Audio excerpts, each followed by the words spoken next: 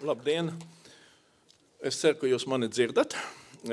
Tā tad mums vienmēr ir liels prieks par to, ka daudz jaunieši izvēlas kārtot centralizētu eksāmenu ķīmijā, kas nav obligātais eksāmens un ir tikai šajā te augstākā līmeņa ķīmijas programmā. Un, ja jau jūs esat izvēlējušies šo eksāmenu kārtot, man ir pilnīgi skaidrs, ka jūsu zināšanas ķīmijā ir labas un ir teicamas. Bet tā kā es apmēram 15 gadus piedalos šo centralizēto eksāmenu vērtēšanā, nu tad man ir dažas domas par to, kas tur ir jums jāņem vērā, lai arī šie vērtētāji gūtu tādu pašu ieskai, iespaidu, lai saprastu, ka jūs tiešām lieliski zināt ķīmiju.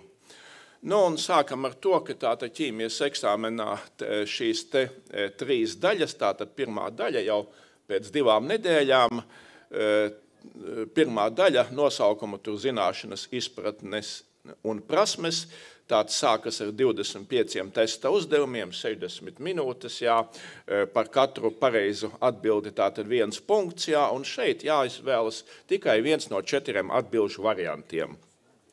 Tālāk sākas jau nedaudz sarežģītāka lieta. Tai pašā dienā. Tā ir eksāmena otrā daļa, četri lieli gari uzdevumi, kas sastāv no dažādiem apakšu uzdevumiem, tā sauktie struktūrētie uzdevumi, tāds 120 minūtes, 50 punkti, un tātad šeit jau ir vairākas iespējas, vai jums ir kaut kas jārēķina būs, vai jums būs jāuzraksta kā atbildē daži vārdi vai daži teikumi atbildē jāuzraksta, vai arī jau krietni lielāks, tā teikt, sacerējums no jums tiks prasīts. Nu, un savukārt, pēc tam, kad pir, pēc pirmās dienas veiksmīgi darba jūs esat gana labi atpūtušies, tad otrā dienā sākas trešā daļa eksāmena, tas ir šis laboratorijas, ja praktiskais darbs, 180 minūtes, jā, kopā jūs 25 punktus varat dabūt, un šeit ir divas lietas. Tātad praktiskais uzdevums, kas jums būs jāveic, jā, dots tāds vispārīgs darba apraksts, un savukārt otrs mazāks tīri papīra darbs, tātad plānošanas uzdevums. Kā sagatavoties eksāmenam? Un, manuprāt, šeit tāda viena ļoti svarīga lieta ir tas, ka ir jums publiski pieejami iepriekšējo gadu centralizēto eksāmenu uzdevumi. Tātad viss mājaslapā adrese šeit ir dota, jā, un nu, nav jau nekā īpaši jauna šai pasaulē.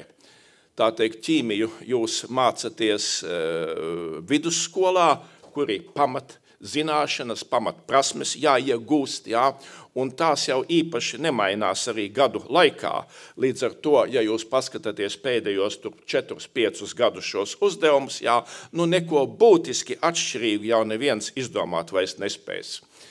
Tā ir viena lieta, nu tālāk ir norādīta metodiskie ieteikumi, arī tā teikt, lai jūs sagatavotos šiem eksāmeniem, tāpat arī valsts pārbaudas darba indikatori, Un e, šie indikatori ir varbūt svarīgi tāpēc, ka tur jau precīzi tiek norādīts, kas tiek pārbaudīts. Ne jau viss tas, ko jūs šai garā ķīmijas kursā esat mācījusies, mācījies, kas ir saturs. Jā. Nu, visu nav iespējams pārbaudīt vienā eksāmenā, bet šeit tātad ir tās pašas svarīgākās lietas. E, ko jūs varat izmantot? Tātad e, zinātniskais kalkulators, lineāls un datu buklets.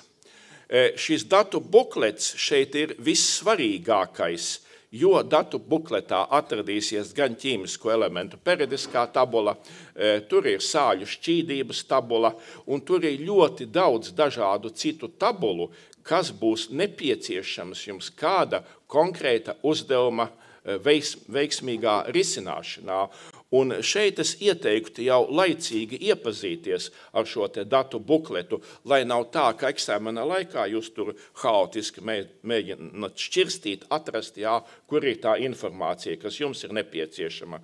Tātad elektrodu standarta potenciāli tur redzami, skābju bāzu konstantas tur redzamas, informācija par kompleksajiem savienojumiem, nu daudzas savienojumu krāsas un vēl visādas, te, teiksim, ļoti labas lietas. Kad mēs nonākam līdz šim eksāmenam, tad faktiski jums ir jāzina viena ļoti svarīga lieta, kā jūsu darbs tiks vērtēts. Uz ko skatīsies šie centralizētā eksāmena vērtējumi, lai vērtētāji, lai ieliktu jums šo te vērtējumu, kas ir punktos un pēc tam izteikts procentos. Un šeit ir divu veidu šīs vērtēšanas schēmas. Tāda pirmā vienkāršākā vērtēšanas schēma, kas ir daļai no uzdevumiem, ka tiek vērtēts punktos. Tātad pirmkārt tie ir testa veida uzdevumi. Tātad viens punkts par katru pareizu atbildi. Ļoti vienkārši. E, aprēķina uzdevumi, lielāk, liela daļa arī šādā veidā tiek vērtēti tieši 1, 2, 3 vai nu, parasti vairāk par 3 punktiem tur nekad nebūs. Jā. Kā arī īso atbilžu uzdevumi. Pie katra uzdevuma jau iekavās ir rakstīts, cik punktus jūs par to varat iegūt. Bet tas svarīgākais jautājums ir, ja piemēram tur ir viens vai divi punkti, par ko tad būs viens punkts, par ko būs divi punkti. Un šajos te e, uzdevumos, kas tiek vērtēti punktos, ir tādas dažas lietas, kas jums noteikti ir jāievēro. Tur e, tātad noteikti būs kaut kādi aprēķina uzdevumi. Piemēram, aprēķināt, cik tur grami kāda tādas un tādas vielas Eh, nepieciešami, lai teiksim, pagatavotu kaut kādu tilpumu, šķīdumu, kura molārā koncentrācija, piemēram, ir zināma. Jā.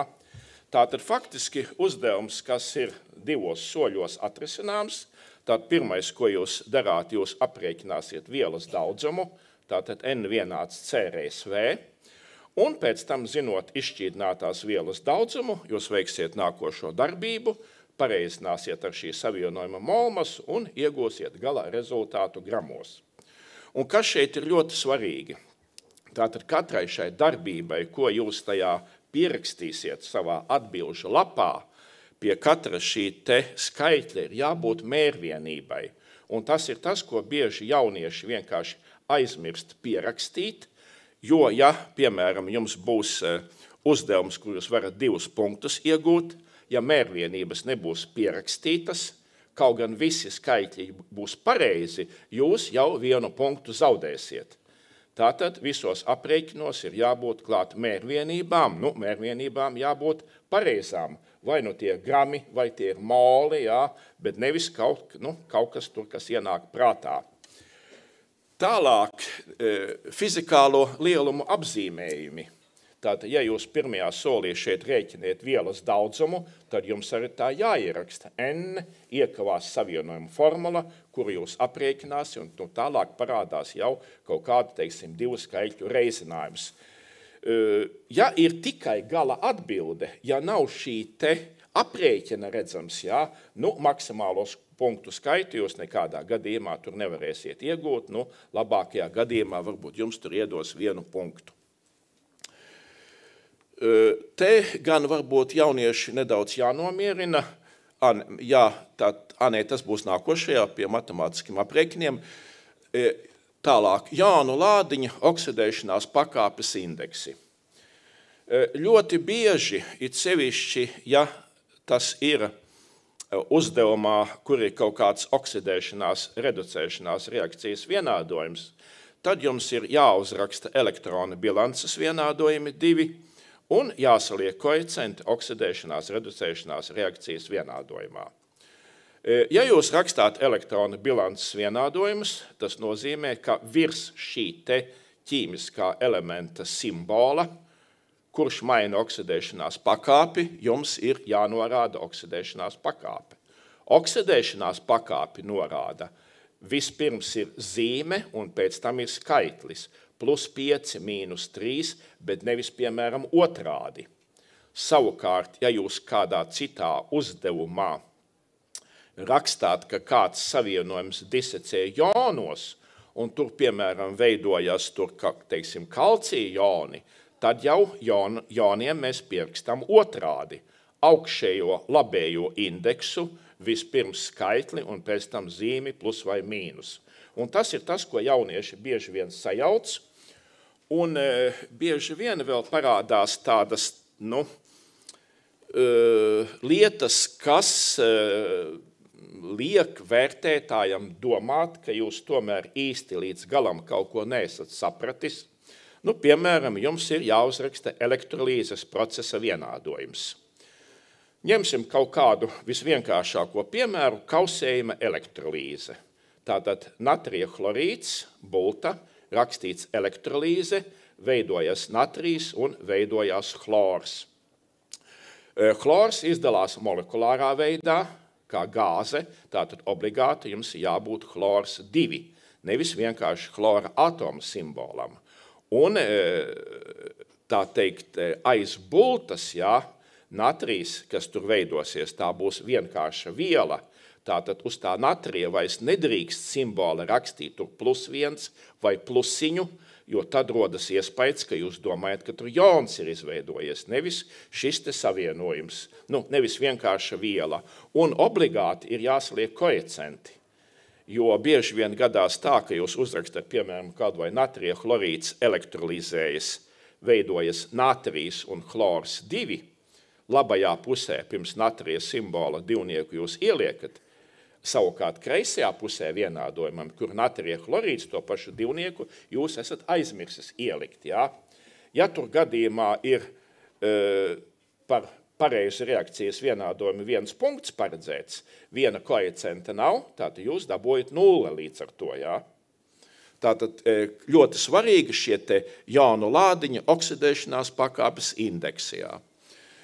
Tālāk, matemātisko aprēķinu pareizība. Tātad, ja jums ir kāds no šiem rēķināmajiem uzdevumiem, nu, varbūt nevis viens, bet parasti būs divi, trīs, varbūt pat četri soļi. Ja? Tātad jūs pirmajā solī iegūstat kaut kādu rezultātu, jūs liekat nākošajā, nākošajā, nākošajā. Un, ja nu jūs pirmajā solī esat kļūdījies, eh, ieguvis nepareizu rezultātu, skaitlisko vērtību, tad šī nepareizā skaitliskā vērtība aiziet tālāk visur. Ja? Šeit šī vērtēšanas sistēma ir labvēlīga jums, ja? jo, ja jūs pārējās darbības esat pareizi izdarījuši, bet tikai vienā esat kļūdījušies, tad šī kļūda tiek jums ieskaitīta, jeb, nu, kā saka, atzīmēta tikai vienreiz. Ja? Ja, piemēram, tur būs kaut kādi četri punkti, jūs pirmajā solī kļūdījāties, nepareizi kaut ko sarēķinājāt, pārējās visas formulas pareizas, bet ar nepareizu to skaitli, jā, nu, tos pārējos jūs trīs punktus dabūsiet. Tātad jūs tā kā, nu, es saku, pēdiņās lieku sodīts, tiekat tikai vienreiz, nevis vairākas reizes par to. Protams, Tas, kas vēl pie matemātiskiem aprēķiniem, tātad šeit ir nepieciešamas savienojuma malmasas. Un eh, ļoti bieži, ja ir šāda tipa uzdevums, tā savienojuma malmasa jau ir iepriekš uzrakstīta uzdevuma nosacījumos. Un vienalga katru gadu ir jaunieši, kas nepamana šo te īso rindiņu, ka malmas savienojumiem ir tāda un tāda, un tajā taisnstūrī, kas ir atvēlēts atbildēji, vēlreiz no sākuma sāk rēķināt molmasu, paskatoties uz ķīmisko elementu periodisko tabulu. Tātad jūs vienkārši atkal laiku esat patērējuši. Ja? Un molmasas parasti ir veselos skaitļos, nopaļotas. Ja? Tātad, ja tur speciāli nav kaut kas atrunāts, tad nav jāskatās uz to, kas tur ir tālākais e, komata. Bieži vien nepieciešams nopaļot, nu tātad saprātīgās robežās. Ja jums tur rezultāts iznāca, piemēram, 7,1 mols, kaut kāds gala rezultāts, jūs nopaļojat uz septiņiem moliem, nu tā tad tur vērtētājs uzskatīs, ka viss ir pareizi, jā, un jau pie tādiem sīkumiem tur vairs, kā saka, neviens nepiesiesies. Vienotas mērvienības. Tātad eh, bieži vien uzdevumi saistās ar to, ka jums ir piemēram kaut kāds tehnoloģiskais process, tur ir teikts, ka jums ir tik un tik kilogrami kaut kāda viela, un jums beigās, piemēram, jā, jāizrēķina, cik liels daudzums kāda elementa vai kāda savienojuma tiek iegūts. Ja? Nu, mēs atceramies, ka molmasas mums ir gramos uz moliem. Avogadros, kas tātad no nu, vienas gāzes mola tilpums 22,4 litri uz molu. Līdz ar to, ja tur bija kaut kādi kilogrami, tad, protams, jāpārvērš molos. Ja tur bija mililitri, tad, tad jāpāriet uz litriem, jo pretējā gadījumā jums var rasties šī kļūda apmēram teiksim, tūkstoš reizes. Ja? Jūs iegūsiet tūkstoš reizes lielu vai lielāku vai mazāku šo rezultātu. Vēl viena lieta, kas šeit pie tām mērvienībām arī noteikti ir svarīga – Ja jums, piemēram, ir jāizrēķina ūdens tilpums, kas nepieciešams kāda šķīduma pagatavošanai, un šim šķīdumam ir sākotnēji noteikta izšķīdinātās vielas masas daļa, nu tad jāatceras, ka tas, kas summējās, tās ir masas, nevis tilpumi. Tilpumi nesummējas. Līdz ar to jūs izreikināt masu ūdenim, un pēc tam parādāt nākošo darbību, ka zinot, ka ūdens blīvums ir viens grams uz mililitru, jā, tātad atrodat šo, ka V vienāds masa dalīts ar RO un ir tik un tik mililitri, bet jūs nedrīkstat uzreiz jā, atņemt no masas vienības eh, šo te no kopīgās teiksim, šķīduma masas, to izšķīdinātās vielas masu un rakstīt, ka tie ir mililitri, kas ir gala rezultātā. Nu, tas faktiski uh, nu, tiek interpretēts tā, ka jūs īsti to nesaprotat. Jā, kas ir masa, kas ir tilpums? Uh, vienot mērvienības, jā. Tā tad... Uh, Kaut kas vēl bija, ko es momentā piemirsu, ko es gribēju teikt tieši šajā sakrā, bet varbūt mēs atcerēsimies. Tālāk, neatkarīgais un atkarīgais lielums. Viens no šiem te uzdevuma tipiem bieži vien ir tāds, ka jums ir iedots kaut kāds grafiks, kaut kas uz x as, kaut kas uz y as, un jums ir jāpas, nu, jāatrod tur kaut kāda likumsakarība kā piemēram tie, kas eh, šo te eh, pirms neilga laika monitoringa darbu ķīmijā rakstīja, tātad tur bija līdzīga situācija, uz X sas bija oglekļa atomu skaits alkānā, uz Y kas bija alkāna vārīšanās temperatūra, un vajadzēja atrast šo te likumsakarību. Eh, jā, ļoti absolūti lielākā daļa ļoti precīzi pateica, ka uh, šī te alkāna vārīšanās temperatūra ir atkarīga no molmasas, jeb oglekļa atomu skaita, jo lielāks oglekļa atomu skaits molekulā, jo alkānam ir augstāka vārīšanās temperatūra. Bet tai pašā laikā, tātad šeit runa par, kas ir atkarīgais un kas ir neatkarīgais lielums, jā, uz x sas mēs liekam neatkarīgo lielumu. Eh, bet vienalga eh, vienmēr parādās darbi, eh, kuri, kuri tiek formulēti apmēram tā mm, likumsakrība, ko jaunietis ir atradis, tiek noformulēta šādi, ka pie augstākas vārīšanās temperatūra, ja vārīšanas temperatūra, teiksim, ir lielāka, tad oglekļa atomu skaits ir lielāks, jā? Ja? Bet tā tad tur šī funkcija un arguments jau tiek sajaukti vietām. Jā. Tas primārais jau ir tas savienojums. Jā. No tā ir vārīšanās temperatūra atkarīga. Nevis no vārīšanās temperatūras ir atkarīgs oglekļa atomu skaits šajā te, šajā te savienojumā. Tātad tas, kas tur ir arī noteikti svarīgi, tālāk atomi, molekulas, joni. Ja ir tā teikt, uzdevumi par to, ka kaut kāds savienojums tur uh, ūdens šķīdumā dis, disocē, tātad disocē tas sākotnējs savienojums, un gala rezultātā tie, tie kas veidosies, tie būs anioni un katjoni. Jā.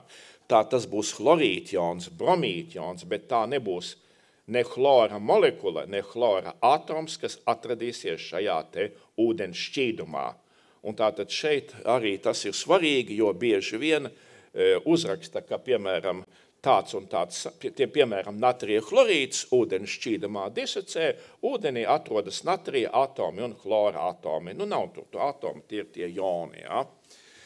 Tātad tas būtu uh, par tādām lietām, kas ir jāņem vērā uzdevumos, un tad mēs nonākam pie sarežģītākiem uzdevumiem. Un tie sarežģītākie uzdevumi ir tie, kur vērtējums tiek sniegts līmeņos, bet pēc tam pārvērsts punktos. Un parasti šādi uzdevumi sākas ar paskaidro, skaidro, tur modelē, plāno, pamato. Ja? Jā, es atcerējos to vienu lietu, ja, ko es gribēju pirmīt pateikt. Ja. Tā tad jums ir svarīgi, kā jūsu darbu vērtēs. Jums ir jāzina vērtēšanas kritēriji.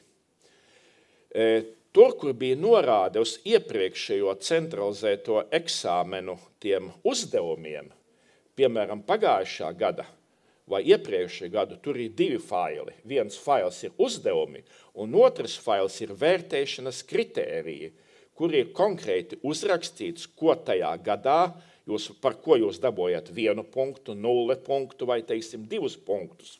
Un to ir ļoti vērts izlasīt, ja jūs, piemēram, nu, pats gribat šo darbu pildīt, lai jūs redzētu, ko jūs tur esat ieguvis. Ja? Un tātad šeit, kur tā vērtēšana līmeņos, tātad mums faktiski ir svarīgas tādas lietas. Jums ir kaut kāds apgalvojums, jūs apgalvojat to un to. Tam jums ir nepieciešams pamatojums un nepieciešami pierādījumi. Un tagad, ja mēs paskatāmies e, šo te pagājušā gada centralizēto eksāmenu ķīmijā, te ir fragments no viena uzdevuma. E, garš tur uzdevums bija, tātad e, runa ir par to, par šiem dezinficējušiem līdzekļiem, ka tur var būt gan etilspirts, gan šis te izopropilspirts, vai arī to maisījums, un tālāk seko šķietami Nē, teiksim, ļoti vienkāršs vienkārš uzdevums. Paskaidro, vai izopropils spirts un metilēteris, kura formula ir dota, ir izomēri. Un tātad šeit var saņemt divus punktus. Daļa jauniešu uzrakstīja, jā, ir izomēri. Cik punktus viņi saņēma? Nulli ja viņš uzrakstīja, jā, ir izomēri, tad jūs saņemat nulle punktu. Jā, jūs zināt, ka ir izomēri, bet jūs savas zināšanas nesat parādījis. Jo šeit sāks paskaidro, vai tie ir izomēri. Jums ir apgalvojums, jums nekāda paskaidrojuma nav. Tālāk jūs, piemēram, uzrakstījāt, e, ir izomēri, e, tāpēc, ka savienojumi, kuriem ir vienāds e, molekulu sastāvs, jeb savienojumi, kuriem ir vienāda molekula. Nē, teiksim tā, atbildīja jā, ir, e, jo par izomēriem sauc vielas ar vienādu molekulu formulu, bet atšķirīgu uzbūvi struktūru. Divus punktus jūs vienalga nesaņemsiet. Jūs saņemsiet tikai vienu punktu, jo jūsu skaidrojums ir ļoti vispārīgs. Jūs pateicāt definīciju, bet jūs neatiecinājāt uz šo te konkrēto gadījumu.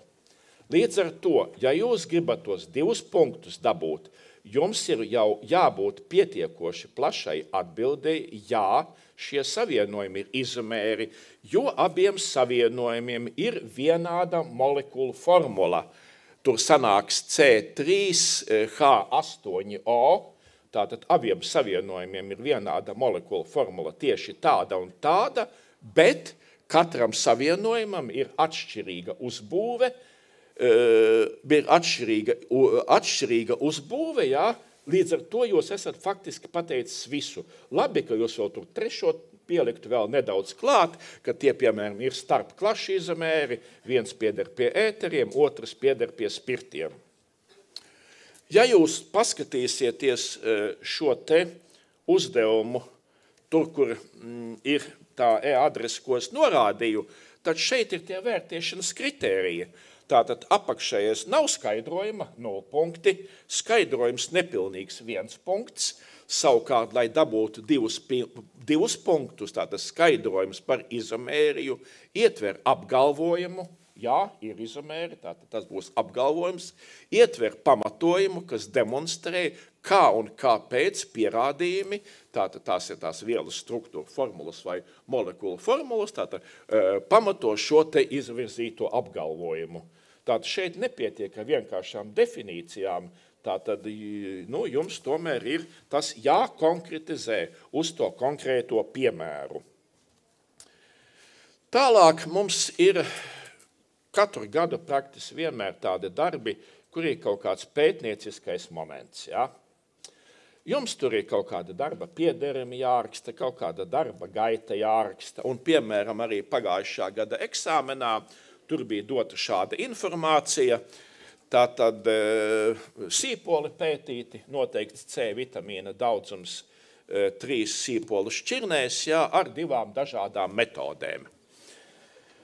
Un e, tev ir aprakstīts, jā, arī vārdu sakot, ka titrametrija tika izmantota, un tas, kas ir tālāk, pirmais uzdevums, tātad papildini laboratorijas trauku un piedarumu sarakstu, kur ir nepieciešami, lai veiktu aprakstīto pētījumu un jūs varat dabūt divus punktus. Eh, un, tagad, eh, un te ir tas, kas bija dots. Tātad reaģenti jau bija doti visi, jā, un savukārt no traukiem tur ir nosaukti tie trauki, kas eh, ir, un jums ir jāpapildina tālāk. Un tagad šeit ir ļoti būtiski saprast, kuri ir tie trauki vai instrumenti, bez kuriem jūs pētījumu nevarēsiet veikt un tiem tur obligāti jāparādās visiem, lai dabūtu maksimālo punktu skaitu. Un ja tagad jūs atceraties, ka tajā, tajā grafikā, kas tur bija sākumā, e, šī te C vitamīns tika izteikts, reku ir uz 100 gramiem, jā, tas nozīmē, ka sākotnēji tie sīpoli bija jāsver, jā, obligāti jābūt svariem. Tālāk bija rakstīts, ka tika veikta titrēšana. Obligāti jābūt titrēšanas iekārtai. Tās titrēšanas iekārtas nav. Tātad divas jau obligātās lietas. Ja? E, tālāk ir jābūt kaut kādai mora pipetei vai mēra pipetei, kas šo paraugu pārnesīs uz šo kolbu, kurā jūs titrēsiet. Tātad obligāti tas ir jānorāda. Bija. Un šeit arī nav redzama koniskā kolba vai vārglāze titrēšanai. Tā, tās būtu tās četras obligātās lietas, kas šeit būtu nepieciešamas, lai dabūtu maksimālo punktu skaitu. Jūs kādu no tiem aizmirsāt, piemēram, vienu vai divas lietas, jā, nu tad jūs jau dabūsiet mazāku punktu skaitu. Ja jūs no tām četrām obligātajām norādīsiet vienu, nu, tad visticamāk, nu, nezinu, ko jūs tur dabūsiet. Ja? Kā, šiet, kā standartizācijā šie vērtētāji savstarpēji vienosies. E, nākošais ir ļoti svarīga lieta - šī darba gaitas plānošana. Un šeit ļoti daudz jaunieši grēko tā, ka darba gaitu uzraksta ļoti vispārīgi. Šeit ir konkrēti tas darba uzdevums no pagājušā gada, un vērtēšanas kritērijus pēc tam paskatīsimies, bet, lai uzrakstītu darba gaitu, jums ir četras svarīgas lietas, kas ir jāievēro. Pirmkārt, darba drošības noteikumi. Un šeit ir jābūt konkrētai, konkrētam ierakstam.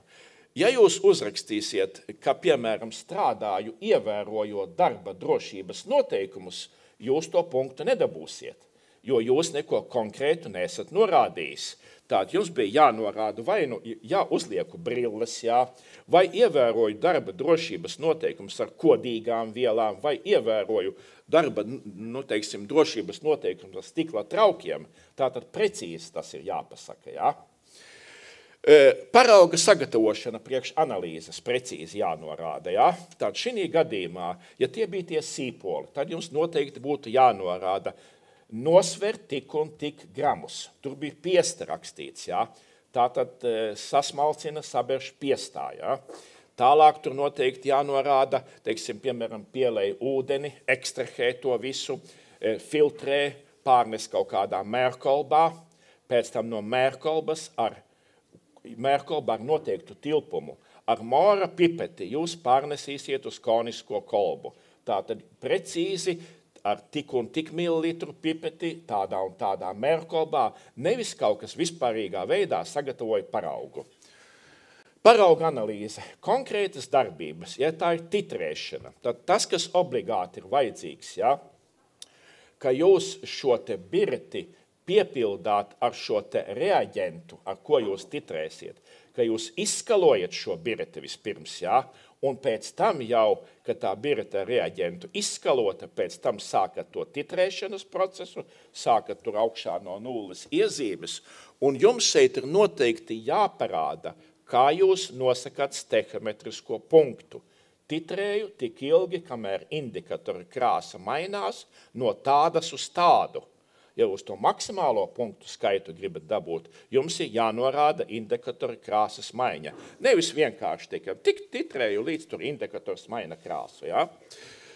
Mērījuma atkārtošana. Un tas šeit ļoti svarīgi, tātad, lai iegūtu tos pareizos rezultātus, tātad jums ir jāatkārto vismaz trīs reizes, un tam ir jābūt norādītam – Un ļoti labi, ja jūs vēl norādāt, ja kāds no rezultātiem ir ļoti atšķirīgs, ja, ka tādā gadījumā jūs vēlreiz veicat šo analīzes procesu.